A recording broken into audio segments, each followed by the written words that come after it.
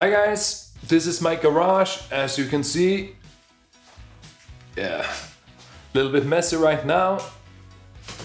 But in this door is my studio and it's been my studio for many years. This is where I started to do YouTube and I've changed it over the years and upgraded it and had a lot of fun. Let's go in and check it out.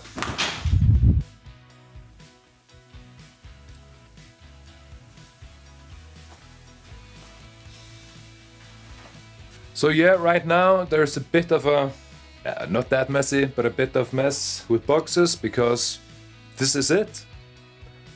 I've had this studio since around 2013 and I rebuilt it and yeah, I have done a lot of YouTube videos as you know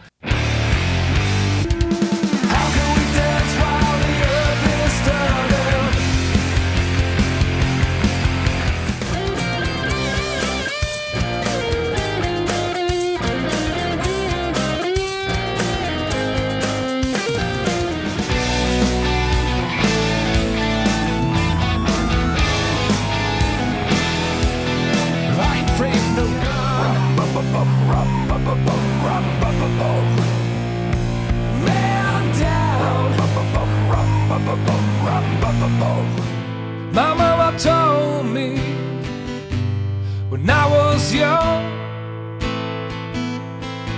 come sit beside me, my only son. and I have recorded a few albums. This is it. This is the last time you'll see me in here.